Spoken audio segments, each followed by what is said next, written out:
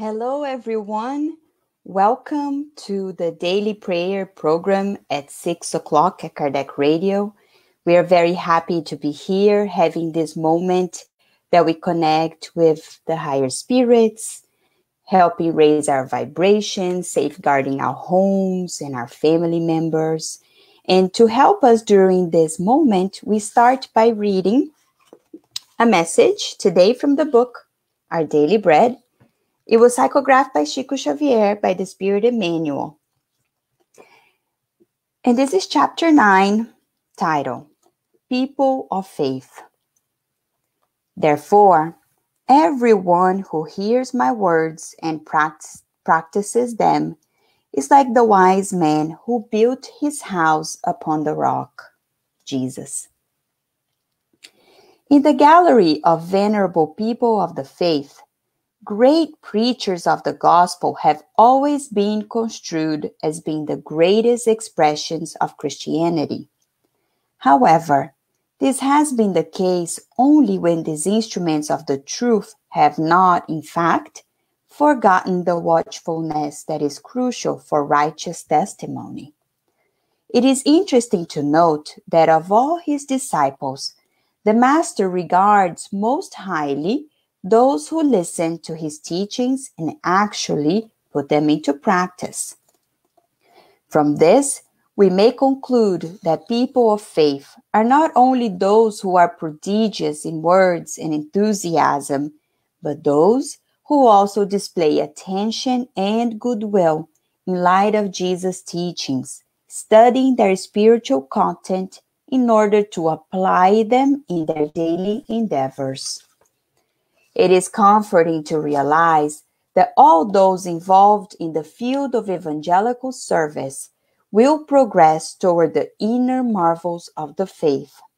Still, we must at all times point out the great worth of sensible persons who, upon hearing the teachings and counsels of the good tidings, carefully attend to the solutions of all the problems of the day or circumstance without allowing their individual achievements to take place apart the indispensable Christian foundations.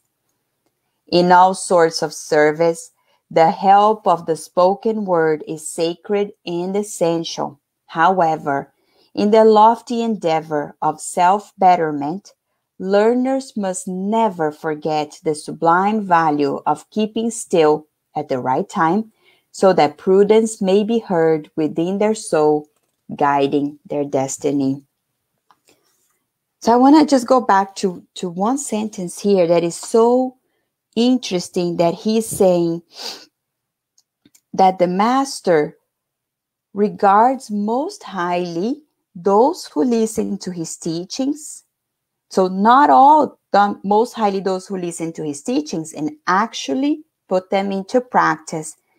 Friends, this is so key for us because we study a lot, we read a lot, we pray a lot, we're here together. But Jesus is really calling for action at all times. It is very important for us to instruct ourselves, but it is not sufficient. So let us think of this. Let us meditate maybe in some action moments that we can have um, daily, you know, exercising our Christian principles, maybe putting yourself a little bit out of our comfort zone Trust me, it is not easy to do a Facebook Live. It is a work in progress, but it's something that we're trying to exercise our Christianity together with you. So we always have opportunities. Let's not take them from, from uh, for granted. It is meant for us to exercise our goodwill. So with that, let us move into our prayer moment and as always, we put some music to help us attune to higher vibrations.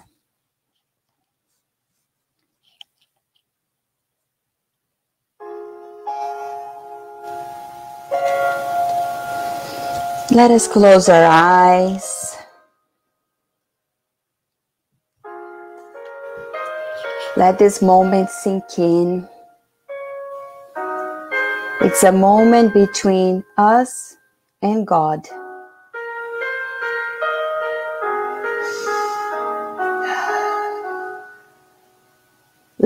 Imagine that we hear a knock on the door at our house. We go the door, and outside of it is Jesus. You invite him in, and you immediately can feel his presence, his vibrations of love permeating your home.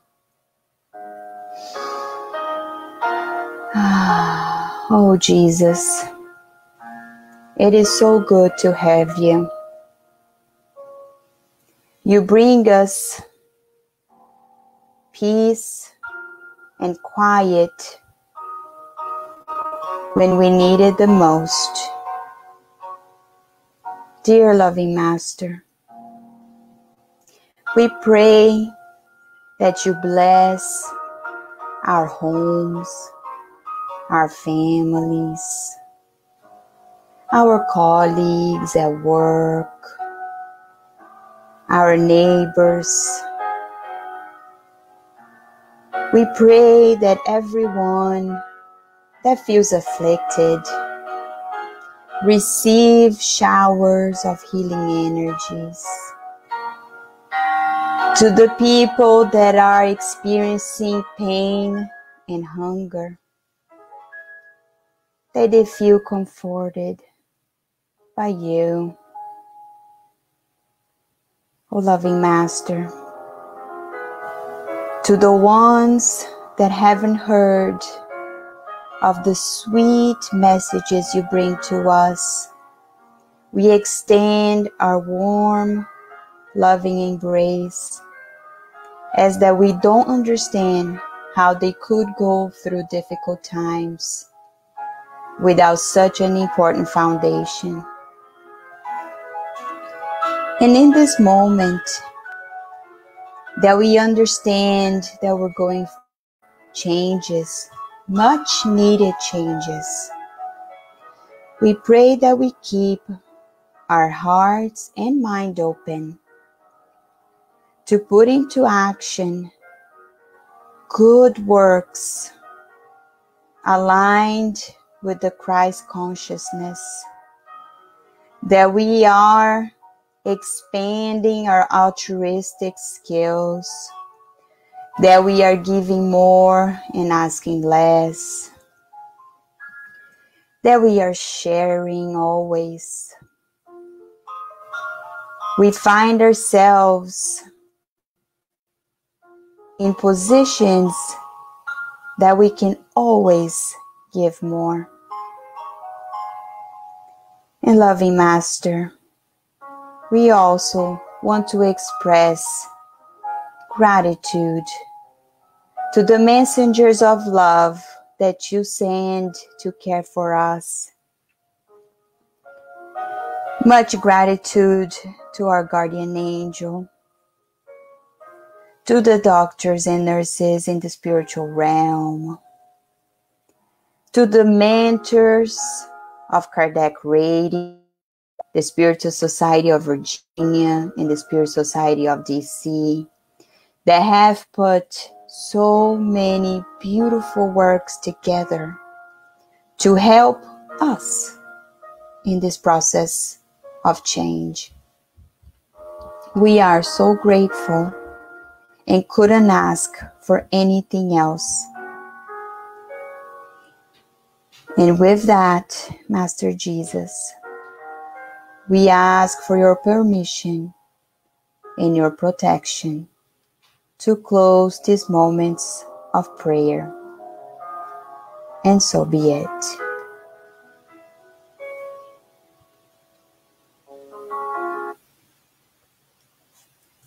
Friends, Glad we were here together. Thank you so much. As always, as a reminder, we have so many programs happening but there's definitely a special one. Every Sunday, 11 a.m., we're studying together the book Good News. We do it in a, in a more, you know, friendly setting where we can see you over Zoom. So if you want to learn more about it, please go to the Spiritist Society of Virginia Facebook page or website and it's streamed there and you can also just get the, the information to connect to the Zoom meeting. Okay, it's tomorrow, 11 a.m. Eastern Time, and we hope you can join us. Many blessings. Have a great and a do Saturday and beautiful Sunday. Bye bye.